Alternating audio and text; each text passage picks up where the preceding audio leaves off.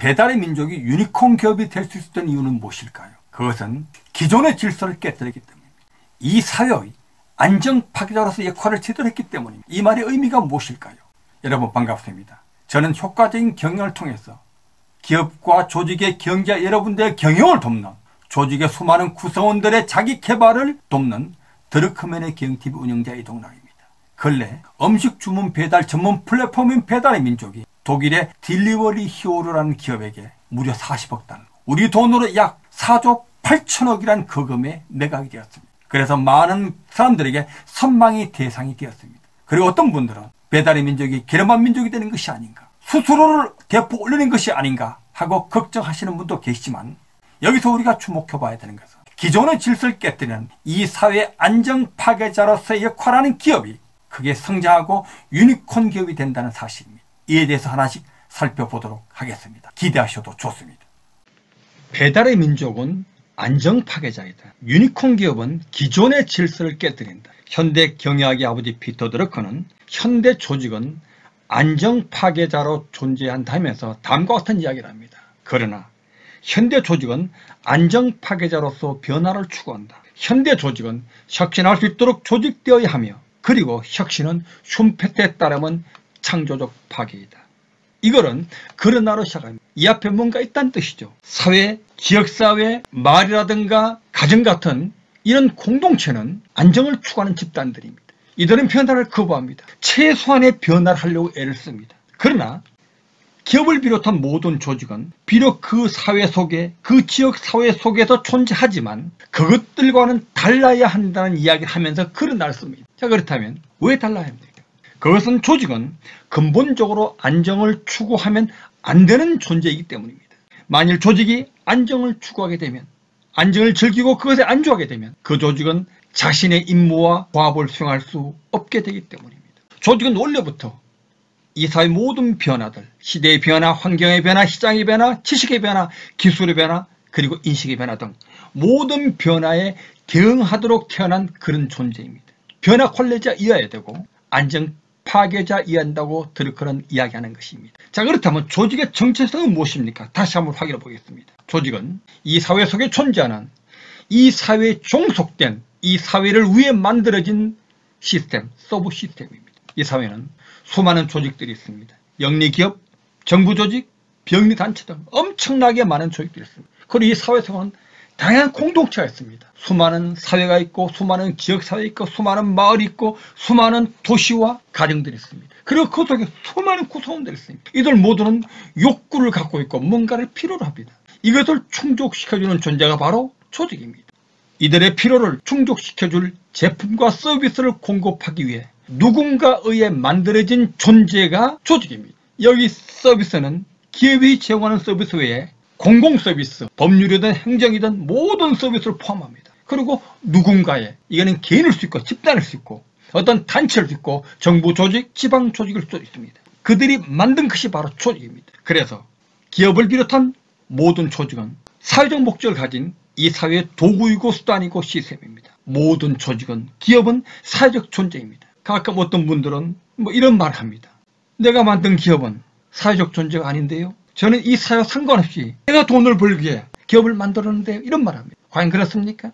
만일 그 기업이 이 사회가 요구하는 제품과 서비스를 공급하지 못한다면 그래서 소비자가 그것을 구매해주지 않는다면 어찌 될까요? 그 기업은 폭망합니다. 폭삭 망하게 됩니다. 이 말의 의미가 무엇입니까? 그렇습니다. 설사 그런 의도로 기업을 만들었다고 해도 결국 그 기업은 이 사회의 필요를 충족시켜야 하는 사회적 존재라는 것입니다. 내 의지와 상관없이 내 의사와 상관없이 사회적 존재라는 것입니다. 자 그렇다면 조직은 왜 변화해야 될까요?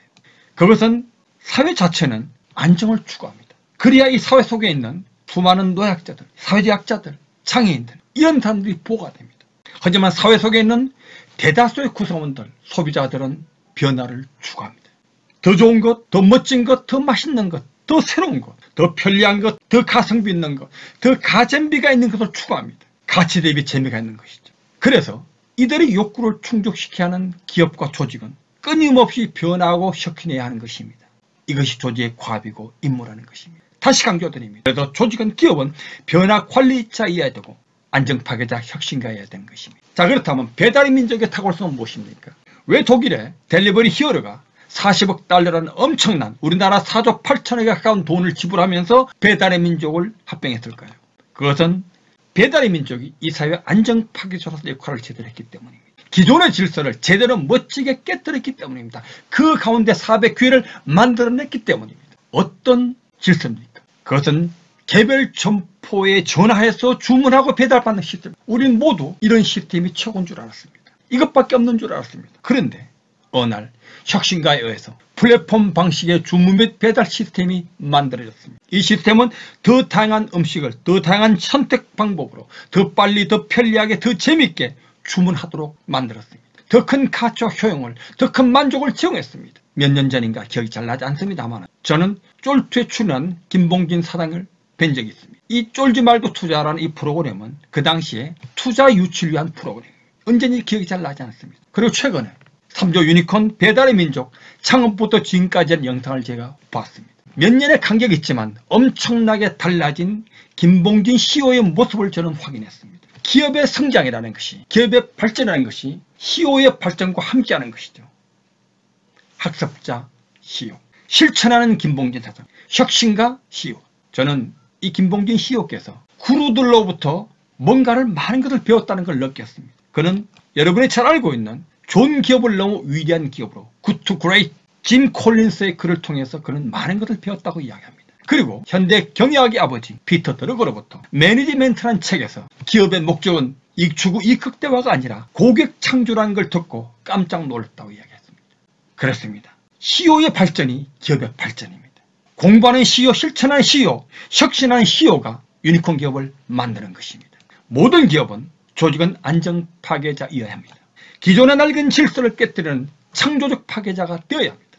변화를 이끄는 변화 관리 그리고 창조적 파괴 혁신가가 되어야 됩니다. 그래야 이 사회가 발전합니다. 이 사회가 제대로 기능하는 사회가 됩니다. Functioning Society 그리고 소비자들은 더욱더 풍요로워집니다. 이것이 조직의 본질적인 특성이고 임무고 과업이고 책임입니다.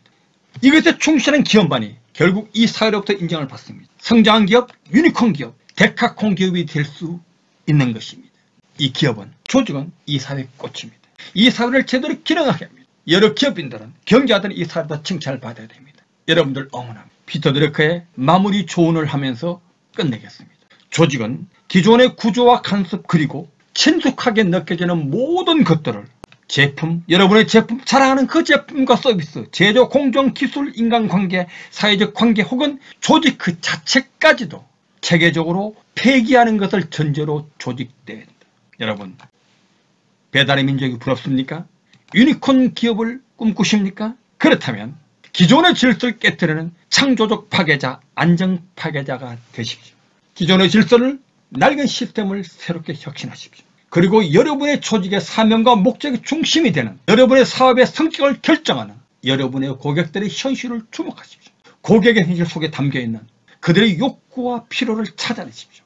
그리고 그 속에 담겨있는 불안을, 불만을, 불평을, 부족을 해결해줄, 사부를 해결해줄 제품과 서비스를 만들어내십시오. 드러크맨의 경영TV는 기업과 조직의 경제 여러분들의 경영을 돕는 그리고 조직에서 열심히 일하고 있는 구선 여러분들의 성장과 개발을 돕는 채널입니다. 이 채널을 통해 현대 경영학의 아버지 피터 드러크의 경영 노하우와 마케팅 통찰 그리고 자기 개발의 방법을 전해드리겠습니다. 여러분을 응원합니다.